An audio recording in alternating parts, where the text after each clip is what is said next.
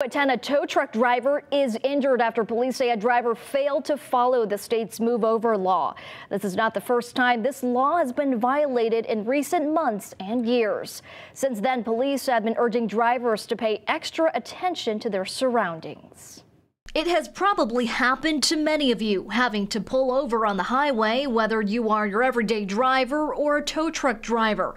But pulling over can be dangerous. AAA did a survey that reports nearly half of drivers who admit that they don't comply with move over laws think their actions are not dangerous. Connecticut's move over law states drivers must slow down and move over, leaving one lane between your vehicle and first responders or road crews.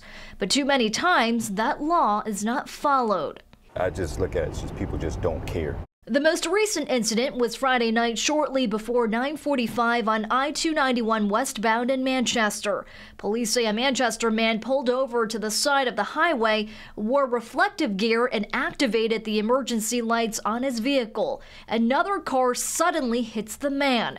Police added luckily this man suffered minor injuries to his back and the driver at fault had no injuries but was handed a ticket. But sometimes instances like these do not always come with a lucky outcome. In 1995, uh, while working in Greenwich, I was struck in a work zone by a drunk driver.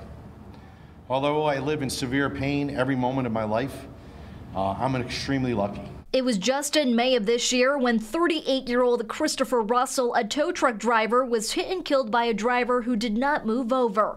Russell was the second Connecticut tow driver killed on the roadside in the past three years. I'm angry about the whole situation. It's something that could have been easily avoided, and uh, unfortunately, it's not. In 2020, 58 year old Corey Iodice, also a tow truck driver, was hit and killed by 48 year old Dean Robert. Robert was sentenced in June of this year to 10 years in prison. Nobody wins. Everybody, you know, there's tragedy for everybody involved in something like this. Since the passing of Corey Iodice's family started a nationwide initiative called Flagman, whose missions include pilot safety programs and K through 12 education outreach.